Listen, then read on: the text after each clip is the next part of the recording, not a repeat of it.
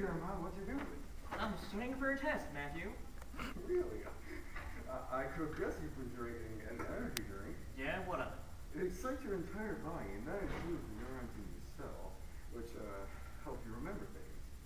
Oh, really? I should drink energy drinks more often then. Well, you should probably cut down. Um, you, it really helps. Actually, it's better to uh, study in a naturally excited state because you need to replicate the state to, to remember things as easily.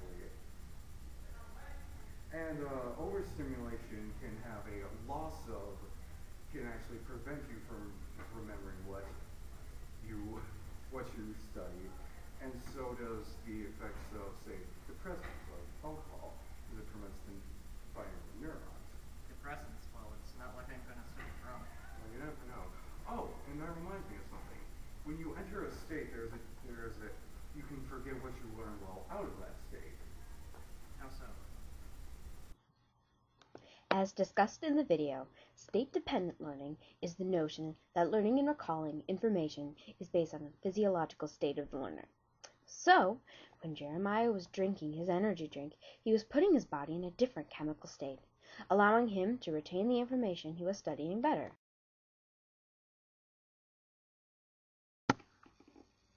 However, again, as discussed in the video, Jeremiah will only be able to retain the information he studied while in the same chemical state.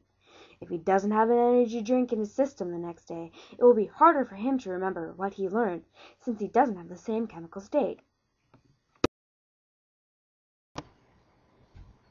Additionally, since Jeremiah entered a different chemical state, he may not be able to recall information given to him before the change occurred. This is more easily noticed with things like drugs or alcohol. Any information obtained before changing your chemical state may be hard or impossible to recall during or afterwards.